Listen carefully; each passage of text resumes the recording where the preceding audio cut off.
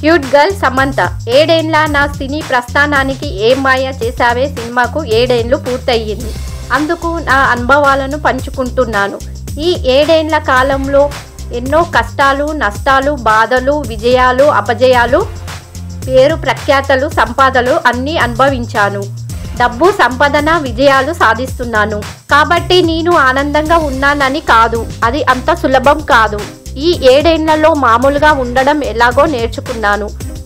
నాకు రోజు షూటింగ్ లేనంత మాత్రాన నేను విఫలమయ్యానని కాదు.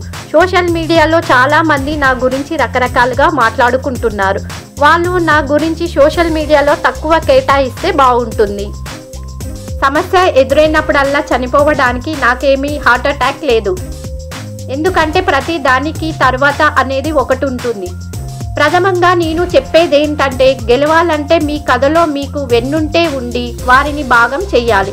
అప్పుడే దానికి ఓ అర్థం ఉంటుంది. నేను ఏం చెప్తానో అర్థం చేసుకుంటాను అనుకుంటాను.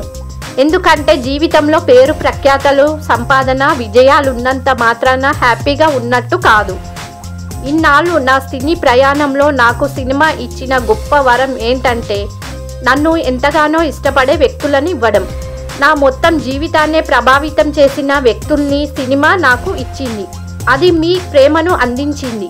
నేను కష్టాల్లో ఉన్నప్పుడు నా వెన్నుంటే ఉన్నారు అంటూ ట్వీట్ చేసింది సమంత.